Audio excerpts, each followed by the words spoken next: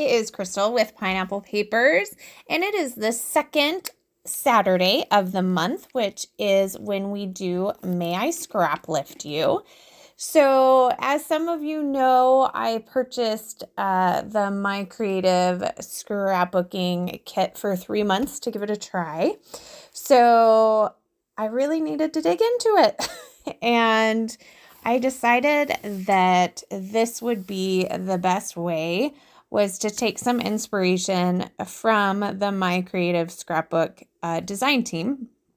So, this particular layout was done by Melissa Vining, and she uses this dot paper, and I love this dot paper. And I knew that was probably one of the first pieces I wanted to use. So she uses it as a whole, but I really like this pink on the other side. So what I decided to do was to basically gut the dots, but then do it strategically enough where I could still use the other side as a border. Now, when you do that, it doesn't fit perfectly back in. So I went in my like loose pattern papers and found this kind of minty cardstock. It's a textured cardstock. I don't know from where. And so I'm just going to put the smallest border on it just for a separation.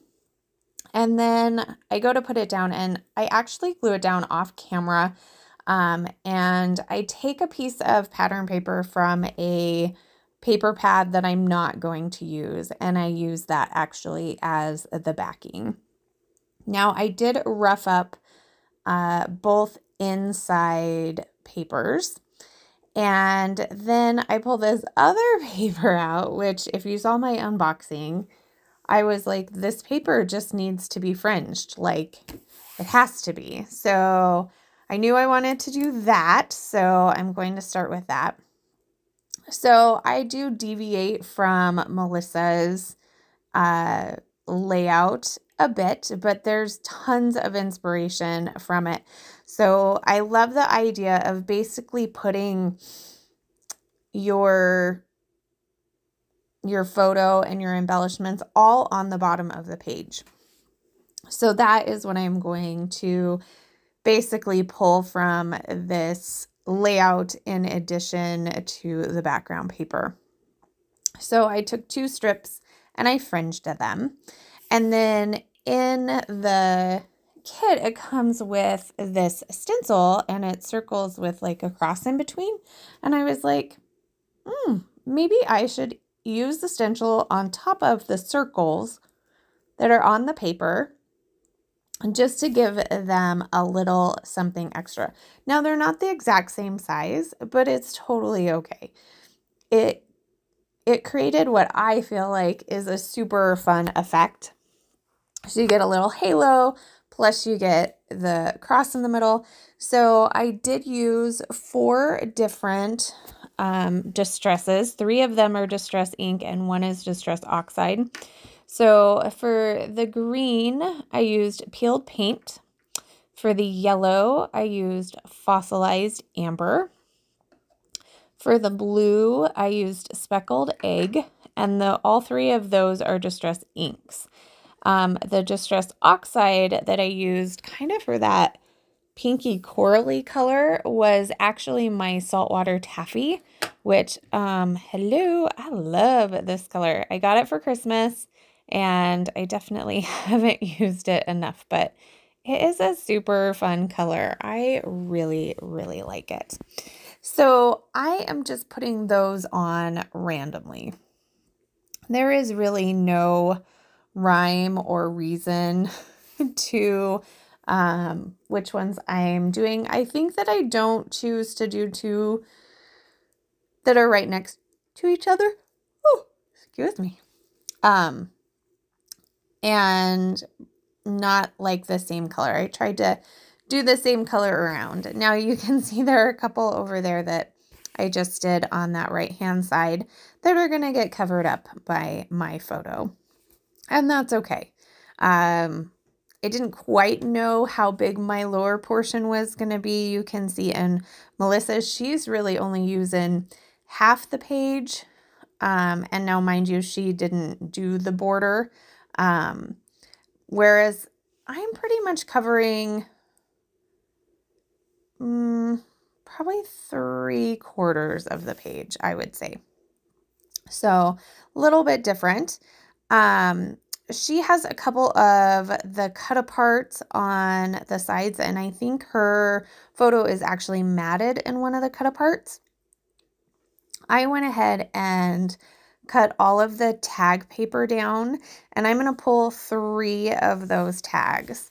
I didn't do the cut apart to back my photo because my photo is a 4 by 6 uh, which is probably twice as big as her photo.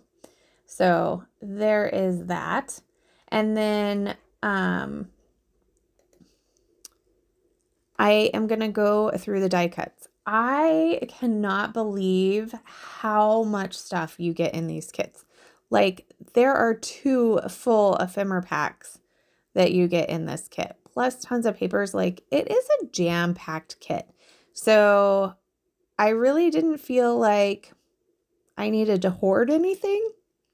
So if I wanted to use it, I was going to use it. Um, and I definitely wanted to get kind of a florally cluster on that top right hand where um, you see her leafy bit.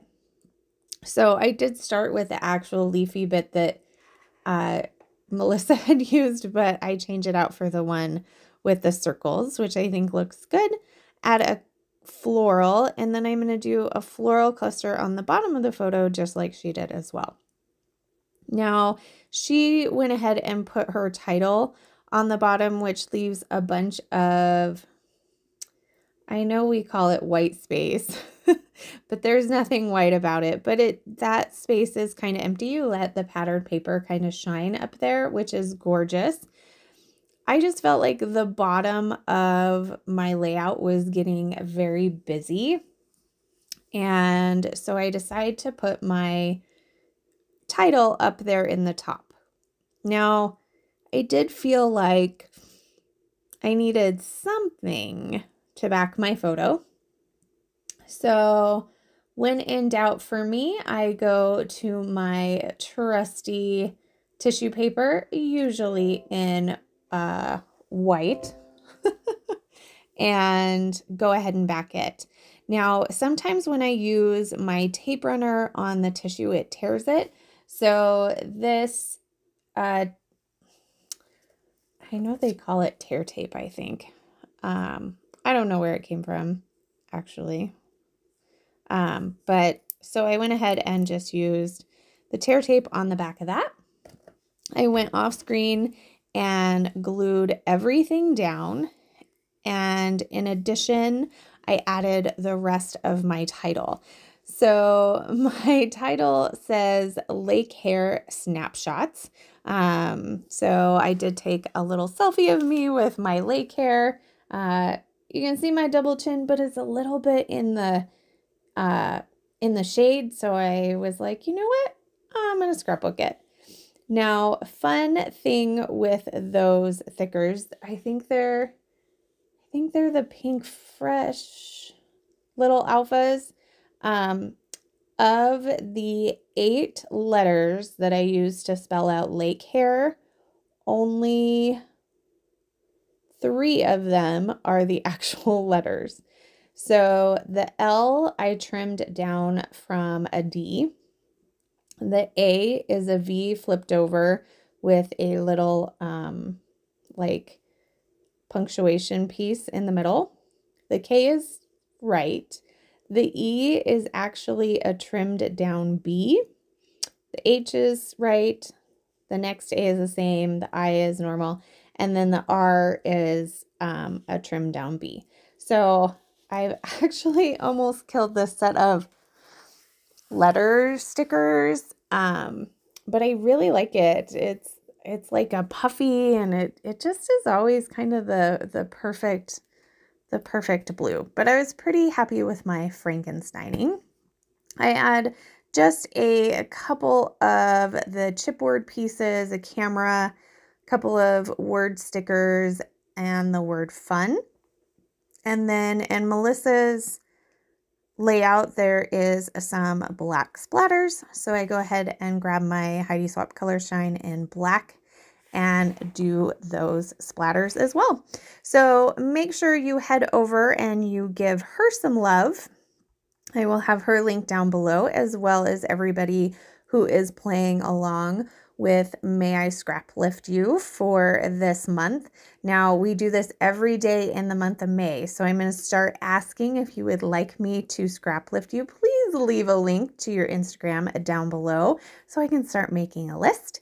And remember to wear your crown, and we'll see you next month. Bye.